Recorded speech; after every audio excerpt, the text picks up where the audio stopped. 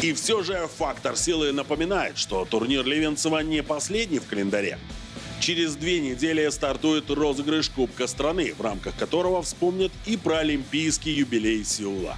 16 ноября это будет полуфинал Кубка Белоруссии, посвященный, э, так сказать, э, памяти Когана и ветеранам бокса.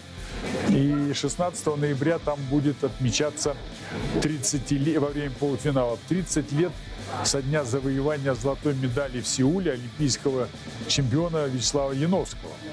И туда приезжает э, примерно 6, 5-6 олимпийских чемпионов, его коллег в те годы. А, планируется приезд э, еще некоторых борцов, любителей, так сказать. Вот Карелин обещал приехать, там Александр Зимбаум, друг. Золото Вячеслава Яновского напоминает нам о том, что белорусы умеют боксировать.